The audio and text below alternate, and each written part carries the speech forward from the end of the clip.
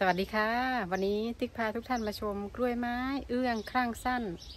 ดอกของเขามีกลิ่นที่หอมและก็สวยงาม เดี๋ยวเรามาชมกันเลยค่ะฤดูการเอื้องครั่งสั้นแทงช่อดอก ดอกของเอื้องครั่งสั้นจะมีสีที่สดใสสวยงาม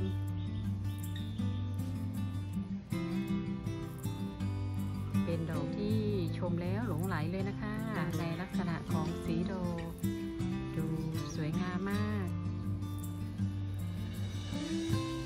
ดอกจะมีกลิ่นที่หอมฟุ้งทั่วสวนเลยนะคะสำหรับกล้วยไม้เอื้องครั่งสั้นนี้ เป็นสีที่ชมแล้ว ชอบเลยนะคะ ลักษณะสีโดอกลักษณะสีเข้มและก็สีอ่อนตัดกัน ดูลักษณะสวยงามเรื่องครางสั้นจะเป็นฤดูการแทงช่อดอกในช่วงเดือนพฤษภาคมนี้นะคะ เห็นว่าลำต้นของกล้วยไม้เอื้องข้างสั้น จะเป็นไม้ดอกไม้ประดับที่สมชื่อเลยนะคะ ลักษณะสายจะมีลักษณะที่สั้น ก่อนที่จะแทงช่อดอกเขาจะมีการทิ้งใบค่ะ สังเกตดูจากสาย ก็จะไม่มีใบให้หลงเหลือเลยนะคะสำหรับกล้วยไม้ เอื้องครั้งสั้นนี้ ต้นนี้ ก็จะมีการแทงช่อดอกอยู่หนึ่งหนึ่งสายนะคะ แล้วก็จะมีสายที่แทงช่อดอกผ่านมาแล้วเมื่อปีที่แล้ว แล้วก็จะมีหน่อที่แตกใหม่ พร้อมที่จะออกดอกในปีหน้านะคะฝั่งนี้ก็มีอีกกระถางนึงนะคะ ฝั่งนี้เอื้องข้างสั้น ดอกของเขา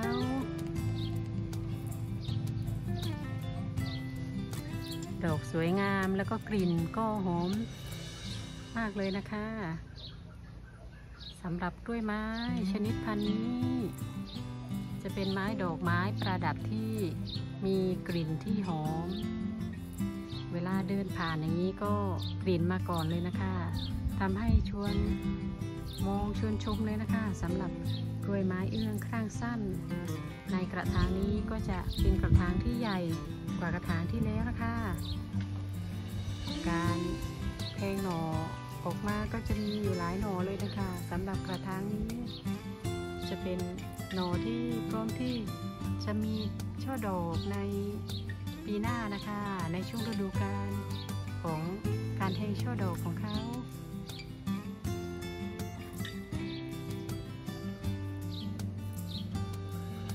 คุ้มค่ามากเลยนะคะ กับการรอคอยสำหรับกล้วยไม้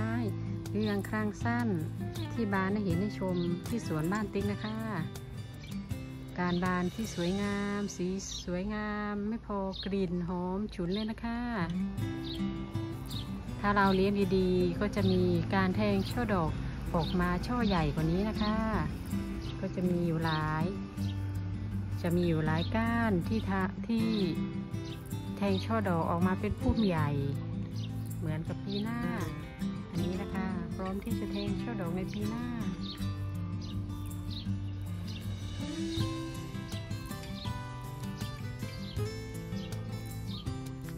ฝั่งนี้ก็จะเป็น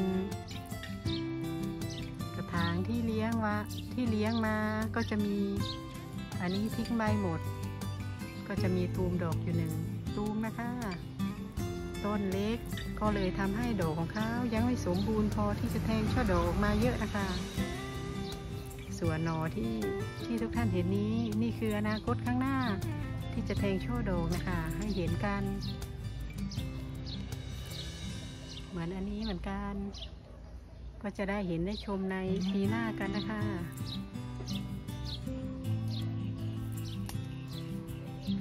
การเลี้ยงกล้วยไม้ก็จำเป็นและก็สำคัญมากเลยนะคะ ในการดูแลบำรุงรักษา